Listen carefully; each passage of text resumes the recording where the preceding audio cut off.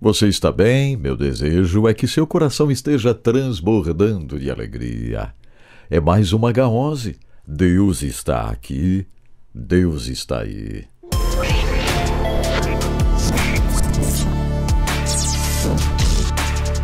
Estamos na série Jeremias. Cada episódio nos apresenta algo muito forte. Podemos tomar decisões magníficas para a nossa vida, acompanhando detalhes da história de Jeremias, acompanhando o que está registrado nas páginas do livro de Jeremias. Hoje eu quero convidar você para a gente estar juntos aqui no capítulo 36 de Jeremias. Por um motivo histórico, o fato registrado aqui no capítulo 36 de Jeremias já foi citado por nós lá no início da série, bem no início da série. Você que está acompanhando cada episódio você vai recordar isso aí. Olha só, Jeoaquim era o rei. Jeoaquim era um rei rebelde, coração endurecido. Não queria saber de dar ouvidos à palavra de Deus. Jeoaquim tinha o profeta Jeremias como um grande empecilho. Ele só não tinha executado Jeremias porque, politicamente falando, poderia ser muito ruim para ele. Mas Joaquim, em muitos momentos, teve vontade de exterminar Jeremias. E Jeremias trabalhava muito. Imaginem, ele estava terminando um livro. E neste livro que Baruque estava ajudando Jeremias a escrever, Baruque era um escriba, um fiel escriba, ajudava Jeremias Estavam terminando o livro e eu, eu fico pensando nisso. Está aqui no capítulo 36. Eles, depois de muito trabalho, terminam aquele livro. Um livro sempre dá muito trabalho. Eu estou agora esperando o meu novo livro que está chegando.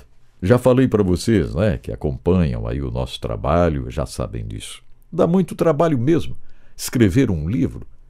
Imaginem nesta época Hoje você senta num computador, num laptop, senta aí num computador portátil com as teclas macias, coloridas e. E é só escrever, deixar fluir. Imaginem nesta época dos rolos, a dificuldade incrível. E terminaram o livro. Terminaram. Ouça só o verso 16 do capítulo 36 de Jeremias. Quando ouviram todas aquelas palavras, as palavras do livro, estavam lá no pátio do templo. Entreolharam-se com medo e disseram a Baruque: É absolutamente necessário que relatemos ao rei todas estas palavras que você acaba de nos dizer. O verso 17 do capítulo 36 de Jeremias diz: Perguntaram a Baruque: Diga-nos, como você escreveu tudo isso? Foi Jeremias quem o ditou a você, Baruque? Sim, Baruque respondeu. Jeremias ditou todas estas palavras e eu as escrevi com tinta no rolo. Olha só. Os líderes disseram a Baruque: Vai esconder-se com Jeremias e que ninguém saiba onde vocês estão. Em outras palavras, a situação vai ficar muito feia para vocês dois. Então deixaram o rolo na sala de Elisama, o secretário. Foram ao pátio do palácio real e relataram tudo ao rei. O rei mandou Geudi pegar o rolo. E Geudi o trouxe da sala de Elisama, o secretário, e o leu ao rei e a todos os líderes que estavam a seu serviço. Isso aconteceu no nono mês. O rei estava sentado em seus aposentos de inverno, perto de um braseiro aceso. Assim que Geudi terminava de ler três ou quatro colunas, o rei as cortava com uma faca de escrivão e então as jogava no braseiro para que queimassem. E Joaquim foi cortando pedaço por pedaço do livro, até que o rolo inteiro foi queimado no braseiro. Isso aqui é o retrato de um coração fechado para Deus. É o retrato de alguém que não quer saber absolutamente nada de Deus. Joaquim queria continuar vivendo da forma que vivia. Mas Deus não queria isso. Vocês já pensaram? O rei Joaquim está no seu palácio, no seu aposento de inverno. Talvez fosse uma noite fria, gelada. Lareira acesa. Começam a ler o livro escrito por Jeremias. Joaquim não gosta. Traga a faca. Corte este pedaço. Continue lendo. Não gosto desse pedaço também. Corte este pedaço também e jogue no fogo.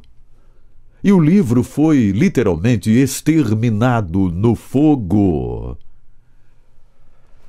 E como ficou? Livro queimado? Jeremias tranquilo? Baruque tranquilo? Cumpriram a missão? Tá bom, Deus, cumprimos a missão. Não. Uh -uh. Ouça o último versículo do capítulo 36 de Jeremias. Então Jeremias pegou um outro rolo. Eu tenho a impressão que Baruque olha para Jeremias e pergunta: o, o que é isso aí?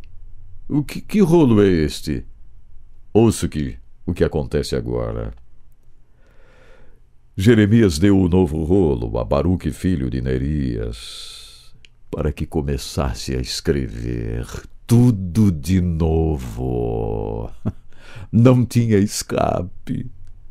Baruque começou a escrever tudo conforme Jeremias ditava. Todas as palavras que Joaquim, rei de Judá, tinha queimado, além de muitas outras palavras semelhantes que foram acrescentadas. Esse é o último versículo do capítulo 36 de Jeremias. Nada de férias, nada. Vamos escrever tudo de novo. Escreve, Baruque. Mas tem mais. Tem mais. Esta palavra o Senhor também quer que entre aí. Escreva. Admira-me muito a coragem de Jeremias, a disposição de Jeremias em servir a Deus. Isso me leva a uma pergunta: como está a minha disposição? Como está a sua disposição de servir a Deus, hein? Oh, meu Pai, obrigado por esses exemplos incríveis que nós temos aqui relacionados a Jeremias. Obrigado por estarmos estudando esta série. Dá-nos fidelidade a Ti, Senhor, prontidão. Queremos estar dispostos, prontos. Oh, meu Pai, não nos deixe desanimar. Às vezes desanimamos por coisas tão pequenas que acontecem na caminhada.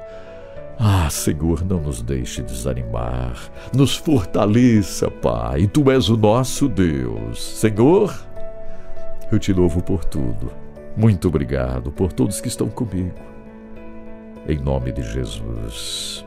Amém. Que coisa boa, hein? Olha, curta o vídeo. Vou fazer um pedido. Não esqueça de compartilhar com seus familiares. Compartilhe com seus familiares. Convide sua mãe, seu pai, seus irmãos, primos, enfim, sobrinhos. Convide-os para também se inscreverem no canal do Edson Bruno. Faça isso. Fale com outros, isso é muito importante. Você pode fazer isso.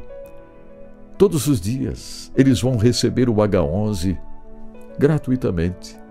Então, fale para eles sobre o canal do Edson Bruno. Muito obrigado. Até amanhã.